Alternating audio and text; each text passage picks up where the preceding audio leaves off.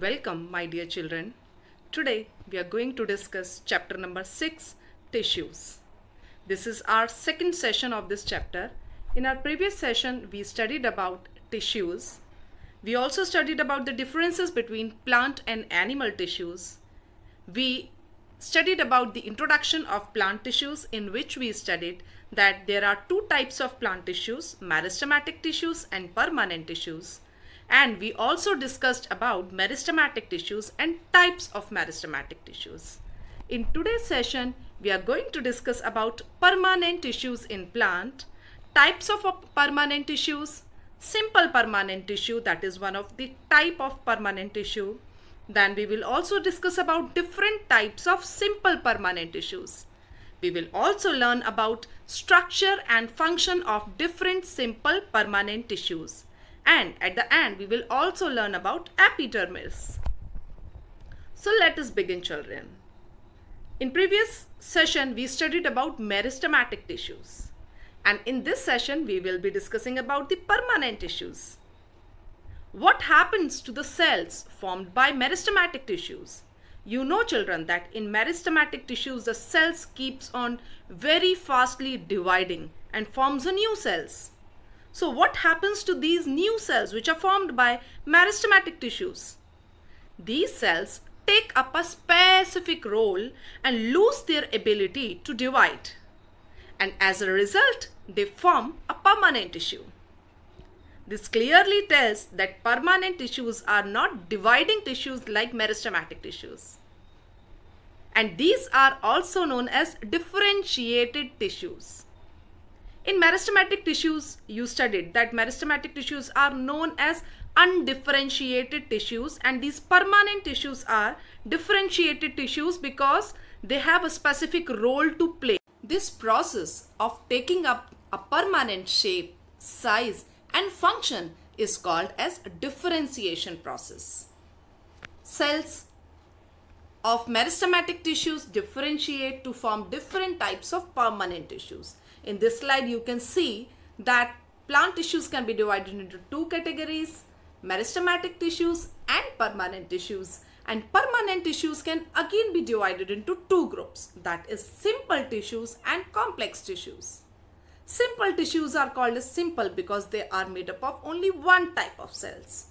And these cell tissues can again be categorized into different groups that are parenchyma tissues, collenchyma tissue and sclerenchyma tissue. So let us begin with simple permanent tissue. As I told you that these tissues are simple because they are made up of only one type of cell. So here all the cells that make up the tissue are similar in its structure and they have the same parts in them. Simple permanent tissues are again classified into three categories that is parenchyma tissue, collenchyma tissue and sclerenchyma tissue. Parenchyma is a type of simple permanent tissue that makes a major part of ground tissues in plants where other tissues like vascular tissues are embedded. They are non-vascular and are composed of simple living and undifferentiated cells which are modified to perform various functions. Let us discuss some more interesting features of parenchyma tissues. These tissues are thin-walled and are made up of cellulose and these are relatively unspecialized or undifferentiated cells. The structure is isodiametric and these are living cells which lie between the specialized tissues. Most abundant tissues and it is found in all non-woody parts of root, stem, flowers, fruits, etc. Cells of these parenchyma tissue are oval, spherical and it can be poly polygonal also. The central vacuole and peripheral cytoplasm is present in them and nucleus is also present. They are loosely packed with small and large intercellular space. So now let us focus on the structure of this parenchyma tissue. Here in this section of parenchyma tissue you can see that walls are very thick with a deposition there and this deposition is mainly of cellulose. and there is nucleus also. There are types of parenchyma tissues or sometimes these tissues perform a special function. If these tissues contain chlorophyll in them and performs a function of photosynthesis, then these tissues will be called as chlorenchyma because of presence of chlorophyll in them. Whereas in case of aquatic plants, large air cavities are present which gives buoyancy to the plant and help them to float on water. And that time these parenchyma tissues changes into aerenchyma tissues. Means they contain air into them so that the aquatic plant can float on water. So these are certain modifications of parenchyma tissues. Now let us discuss about the functions of parenchyma tissues. This tissue provides support to the plant and store food. The parenchyma of stems and roots also store nutrients in them. Plant parenchyma cells make up the bulk of leaves, flowers and the growing and dividing inner parts of stems and roots. They perform the functions such as photosynthesis, food storage, sap secretion and gaseous exchange etc. Now there is another kind of parenchyma tissue which is known as collenchyma. Children this collenchyma is different from chlorenchyma. Chlorenchyma is a part of parenchyma or is a modified version of parenchyma. This collenchyma tissue is composed of elongated cells with less intercellular space. Whereas in case of parenchyma tissues, you saw that there is enough intercellular space between the cells. Here that space is less. The cell walls of cells are thicker at corner due to presence of a special chemical substance which is known as lignin. This tissue provides flexibility to the parts of plant and allows easy bending of that parts. This tissue also provides mechanical support to the small and soft part of the plants. In this slide you can see the structure of this collenchyma wherein you can see cytoplasm, nucleus, middle lamella, chloroplast, vacuole, intercellular space which is very less and primary cell wall. We can find this tissue near leaf stalks below epidermis. The cells of this tissue are living, elongated and irregularly thickened at the corners. And there is a very little intercellular space. Now let us discuss about another type of parenchyma tissue that is sclerenchyma tissue. This tissue is composed of long, narrow, dead and thick walled cells. Children here it is very important to notice that these cells are dead cells. The cell wall contains lignin which provides hardness to them. No intercellular space is present here in sclerenchyma. This tissue provides hardness and strength to the parts of plants like walnut, seed coat, etc. In this slide you can see that coconut shell is shown here. This coconut shell is very hard and it is made up of sclerenchyma tissues. And these tissues are dead tissues. This tissue makes the plant hard and stiff. That is the main function of this tissue. The cells of the tissue are dead and they are long, narrow as the walls are thickened due to lignin which act as a cementing substance and this substance hardens the cell. That is why these tissues are very stiff and hard. There is no intercellular space present in these tissues because of thick cell walls. This tissue is present in stems around the vascular bundles, in veins of the leaf and in harder coverings of the seeds and in nuts. Here in this slide you can clearly see the picture of these tissues. You can see here that lignin deposition is there and there is lumen and sclereids are there. Now in this slide you can see the comparative structure of parenchyma tissue, collenchyma tissue and sclerenchyma tissue. You can see the cross sections of all three types of tissue and longitudinal sections of all three types of tissue. Now let us study about the differences between parenchyma, collenchyma and sclerenchyma. The shape of parenchyma is isodiametric cells which are oval, spherical and polygonal in shape whereas in collenchyma the cells are mostly circular and oval or it can be polyhedral too. In sclerenchyma variable shapes are found and fibers and sclereids are also found. The cell wall in parenchyma is made up of cellulose whereas the cell wall in collenchyma is uneven thickening on the cell wall and in sclerenchyma it is lignified secondary cell wall which is present in them. Cytoplasm is abundantly present in parenchyma and in collenchyma also it is present but in case of sclerenchyma it is absent as these cells are dead cells.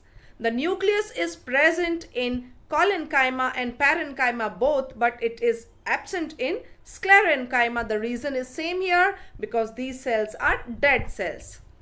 The vacuoles are very large in parenchyma whereas these vacuoles are also present in collenchyma but these vacuoles are absent in sclerenchyma. Intercellular space that means the space between the two cells is present in parenchyma and is absent in collenchyma and sclerenchyma. The occurrence of parenchyma tissue is basically in pith, cortex, medullary rays and all other soft part of the plant. It is the most abundant tissue which is present in the plant. So basically it is a packaging tissue or packing tissues of the plant. And collenchyma is present in dicot stems petioles and beneath the epidermis and it is absent in monocots and in roots. Sclerenchyma is present in dicot, hypodermis, bundle sheath, pericycle, seed, pulp of fruit, etc. The function of parenchyma is the storage of food and photosynthesis in case of chlorenchyma, whereas in collenchyma, the function is to provide tensile strength and mechanical support and photosynthesis. Whereas the function of sclerenchyma is to protect the part of the plant like uh, seed and it provides a mechanical strength to the plant and it enables the plant to bear the stress and strain from external environment. Now there is another kind of uh, very important part which is present in plant tissues which is also known as dermal tissues. And it is a very important part of plant tissues because it forms the outermost layer of the plants and this is known as epidermis. Children, in this diagram you can see vascular tissues. Vascular tissues means the tissues which transport or which transfer food and water and mineral in plant. These are called as vascular tissues which are made up of xylem and phloem which are complex tissues that we will discuss later on. Then you can see ground tissues and the third one which is denoted here is dermal tissue that is epidermis. So epidermis is very important part of plant tissues. Let us discuss about it. It is the outermost layer of the cells and it is single layer of cell. Here in this diagram you can see that uh, there are single series of cells which is present at the outermost covering or outermost site of the cell and these cells are having stomatas in them and these stomatas are made up of guard cells. Children, if you will take any leaf and if you will try to pull out the outer covering of that leaf, you will see epidermis there. In case of cactus, epidermis may be much more thicker to prevent the loss of water in them. Entire surface of the plant has this outer covering of epidermis and there is no intercellular space in epidermis. And these cells are comparatively flat in structure. The functions of epidermis in plants are so many. As it is the outermost covering, so it protects all the internal parts of the plant. Epidermal cells are on the aerial parts of the plant often secrete a waxy substance which makes the plant water resistant and it forms a water resistant layer on the outer surface of the plant. This helps in protection against the loss of water, mechanical injury and invasion of any parasitic fungi. On the epidermis, there are small pores which are present and these pores are known as stomata. These are found on the lower and sometimes upper epidermis surface of the leaves and the singular of these stomata are known as stoma whereas stomata is the plural form. The whole is surrounded by two guard cells and these can open by becoming turgid and close by becoming flaccid. Guard cells contain chloroplast in them and these are usually open during the day and get closed at night. So in this slide you can see the structure of stomata which are embedded in epidermis. Here you can see closed as well as open stomata. Now there is one more special type of epidermis which is known as root epidermis. It is outermost single layer of the cells that protects the root from various diseases and it also absorbs water and nutrients from the soil. Root hairs are also a kind of epidermis which are tubular extensions of epidermal cells.